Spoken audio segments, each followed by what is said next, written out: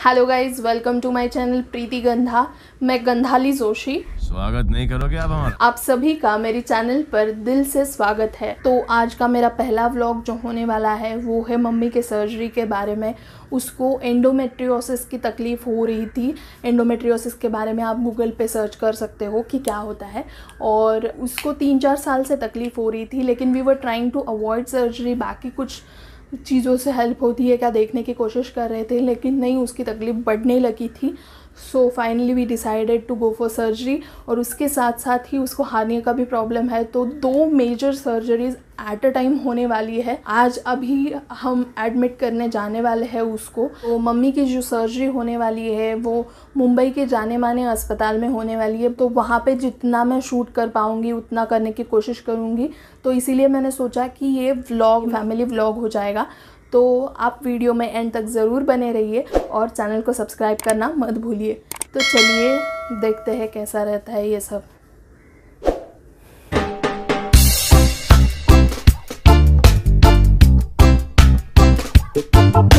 इतने साल रहने के बावजूद हॉस्पिटल में जाते वक्त पहली बार मम्मी मेट्रो में बैठी थी। लुक एट हर हैप्पीनेस ये रहा कोकिला बहन धीरू भाई अंबानी हॉस्पिटल आपने न्यूज़ में वगैरह कहीं ना कहीं देखा ही होगा, क्योंकि बहुत ही ज़्यादा फ़ेमस हॉस्पिटल है ये। सेलिब्रिटीज़ का वगैरह ट्रीटमेंट यहीं पे चलता है।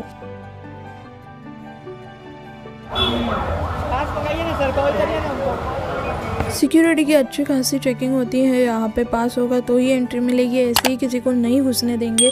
और अंदर जाने के बाद ओ my god it looks like an airport कितना बड़ा और ब्यूटीफुल सा हॉस्पिटल है ये। ऑपरेशन के एक दिन पहले लिक्विड डाइट होता है तो अभी मम्मी नींबू पानी पी रही है दिन भर से बेचारी ने कुछ नहीं खाया। और एडमिशन का प्रोसेस स्टार्ट कर दिया है, पापा एडमिट करने का पूरा प्रोसेस कर रहे हैं, और हम यहाँ पे बैठ के मज़े ले रहे हैं एसी के ठंडी ठंडी हवा के। और मुझे एक्चुअली जाना भी है जल्दी, क्योंकि मेरे पास चाबी है घर की, और भाई आने वाला है। हॉस्पिटल में डिरेक्शंस कुछ इस तरह से लिखे हुए हैं, नीचे तो चलते चलते आपको पता चल जाएगा। नीचे की प्रोसेस कंप्लीट होने के बाद हम ऊपर पेशेंट के रूम में आ गए और यहाँ पे बीपी शुगर जो भी नॉर्मल बेसिक टेस्ट होते हैं, वो सब कर लिए गए। ऑपरेशन के पहले दिन करते ही है और मम्मी को एक बैंड पहना दिया उसके आईडी के साथ और अभी फॉर्म वगैरह भर के ले रही है सिस्टर इसमें बहुत टाइम जाता है तो ये सब करने के बाद मैं घर चली गई वापस। तो अभी मम्मी को लेके जा रहे हैं और 10 बजे का वगैरह टाइमिंग बोला था। मैं पहुँची ही नहीं कि उसको लेके ही जा रहे हैं। सर्जरी के लिए लेके जाते वक्त मम्मी के पास मैं अकेली ही थी क्योंकि रेड पास मेरे पास था और रेड पास वाला एक ही पेशेंट के साथ रुक सकता है। सर्जरी के टाइम पे सर्जरी पास भी देते हैं जितने टाइम सर्जरी चलेगी उस टाइम के लिए। और यहाँ पे वेटिंग एरिया है जब पेशेंट की सर्जरी चल रही होती है तब सब लोग वेट के वहाँ पे इंतज़ार करते हैं। तो बहुत टाइम से सर्जरी चल रही थी, दो सर्जरीज थी। तो मैं थोड़ी देर के लिए यहाँ पे ऊपर आ गई रूम में और आपको रूम भी दिखा देती हूँ।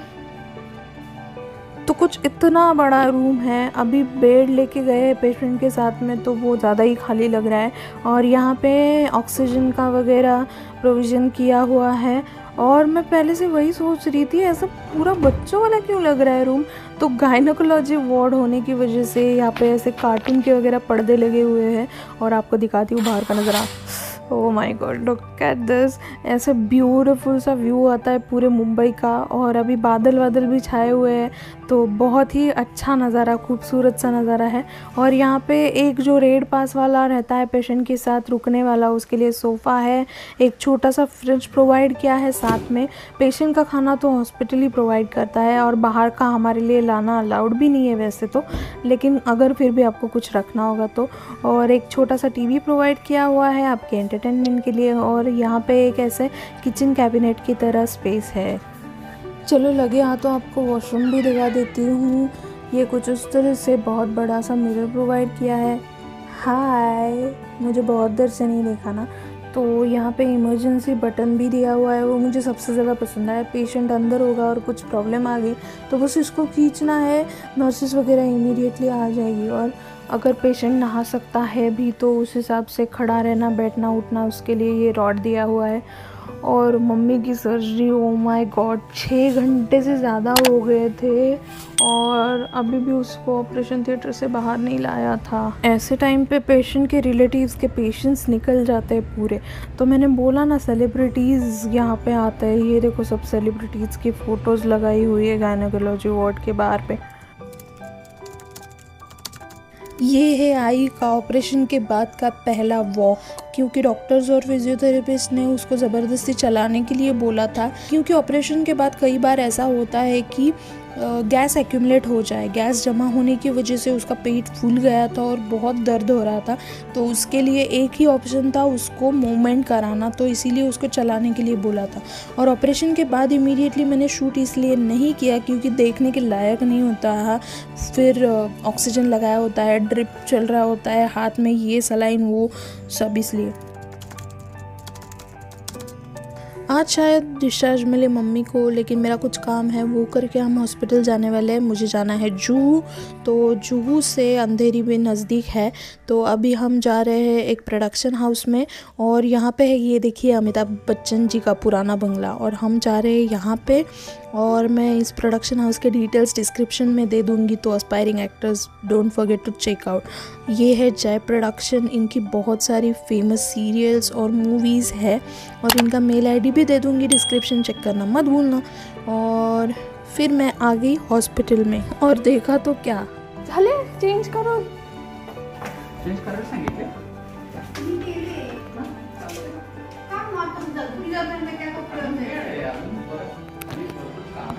बेसिकली डॉक्टर्स ने डिस्चार्ज दे दिया था लेकिन हमारा मेडिक्लेम का काम बाकी था तो उस इंतज़ार में हम थे और मम्मी एक्साइटमेंट में कपड़े वपड़े चेंज करके रेडी होके बैठ गई थी। कैसे लग रहा है अब अच्छा लग रहा है। हाँ दर्द कम हो गया? हाँ हो गया। तो डिस्चार्ज कब देंगे? शायद आज देंगे। थोड़ा सा चल के दिखाओ मुझे। Good very good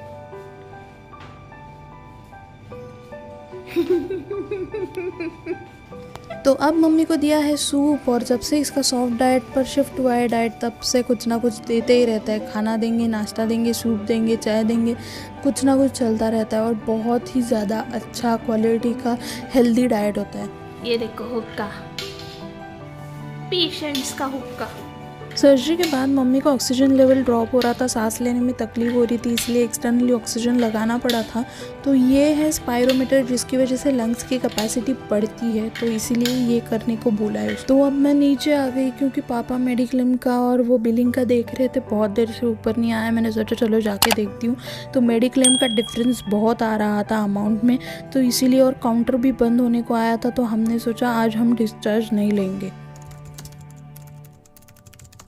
good morning guys मेरा दिन चाय के बिना स्टार्ट नहीं होता और मैं अकेली थी मम्मी के पास तो उसको बोल के आ गई, ये कैंटीन है, अभी खाली दिख रहा है, लेकिन दिन भर बहुत भीड़ होती है। और फाइनली आज हमने डिस्चार्ज ले लिया और हमारा जो मेडिक्लेम का बहुत ज़्यादा डिफरेंस आ रहा था, वो भी कम हो गया। आई एम वेरी ग्लैड और मैं इसके साथ आपको ये कहना चाहूँगी कि जो हमारा होता है वो हमें ज़रूर मिलता है। बस हमें ट्राई करना है, गिव अप नहीं करना है। देखो, घर जाते जाते मैंने आपको ज्ञान भी दे दिया। डिस्चार्ज के बाद तो हॉस्पिटल विज़िट्स होती ही रहती है। ड्रेसिंग के लिए जाओ, दिखाने के लिए जाओ, ये तो चलता ही रहता है। लेकिन जब उसकी पट्टी निकल गई ड्रेसिंग की तो उसके बाद से घर में मैं बन गई डॉक्टर हा हा हा। और तो सैनिटाइज़ करना पड़ता है, बहुत प्रिकॉशन लेनी पड़ती है। एंड ये मतलब जो घर में हॉस्पिटल में जो चीज़ें यूज़ करते हैं, वही हम करते हैं। जैसे कि ज़ख्म क्लीन करने के लिए हॉस्पिटल्स में ज़्यादातर बिटाडिन का इस्तेमाल किया जाता है तो वो हमने लाया है और रुई चिपके ना इसलिए ये ऊपर से बैंडेज वाला टेप यूज़ करते हैं। और अभी तो आप देख सकते हो कट हील हो रहा है प्रॉपर से, लेकिन पहले इतना बापरे देखने को नहीं होता था इतना ये दिख रहा था। और ये पाउडर अमेजिंग है मतलब अगर नॉर्मल भी कोई ज़ख्म है ना तो उसकी हीलिंग के लिए एंटीबैक्टीरियल पाउडर है। मैं नाम डिस्क्रिप्शन में दे दूँगी आपको। तो ये बहुत ही अच्छा पाउडर है। तो अब भगवान की कृपा से सब कुछ ठीक है। रिकवरी भी अच्छी है डॉक्टर्स ने अच्छा बोला है। और अब ऐसे इधर बैठ के टीवी देखती रहती है मोबाइल देखती रहती है, खाती रहती है, घूमती रहती है। और कुछ चीज़ों का तो ध्यान रखना पड़ेगा, जैसे झुक नहीं सकते या फिर नीचे नहीं बैठ सकते। लॉन्ग जर्नी अवॉइड करनी पड़ेगी, ये बेल्ट हमेशा पहनना पड़ेगा। तो परसों ही हमने उसका फोर्टी नाइन बर्थडे सेलिब्रेट किया। And this was the today's video I hope you like it अगर पसंद आया हो तो दोस्तों के साथ शेयर कीजिए चैनल को सब्सक्राइब कीजिए और बेल आइकन प्रेस कीजिए ताकि आपको नए वीडियो का अपडेट मिल सके। जल्दी मिलेंगे नए वीडियो में। तब तक के लिए अपना ख्याल रखिए